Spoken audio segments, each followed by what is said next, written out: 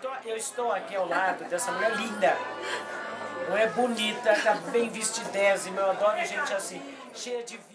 Mariana Guinelli, que tem uma historinha para contar para vocês. Eu quis aprender sobre negócio, porque eu sabia que a moda. Eu vim de corte e costura. Quando eu comecei a gostar de moda, eu comecei a trabalhar com 12 anos, trabalhei com 15 na Pacalolo, né? A paulistana queria trabalhar na Pacalolo e a carioca queria ser Paquita. Só tinha esse destino aí, aquela fila, aquela concorrência.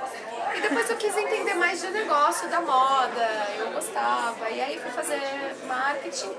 E aí eu fui convidada para participar de um, de um processo seletivo numa telecom, justamente quando eu saí dessa, dessa indústria de moda. O que você está fazendo agora? Estou Mariana? trabalhando com tecnologia. Continua. Eu sou diretora de uma, de uma startup de Digital Transformation, que é um. E eu queria que você desse esse endereço, porque... Eu trabalho na ciência, trabalho na ciência. Uma empresa que faz toda a parte de digital transformation, que é transformar uma empresa como um banco digital. Como é que você sobrevive onde um Uber vem e de repente muda todo o mercado? Então é isso que a gente faz. Você percebeu, ó? Isso é a mulher de agora. Isso é Mariana. É, Então pessoas assim têm que falar, fale com as mulheres. A gente tem que se adaptar, a gente tem que estar antenado. Essa é a mulher de hoje. Essa é a mulher de hoje. Essa é você.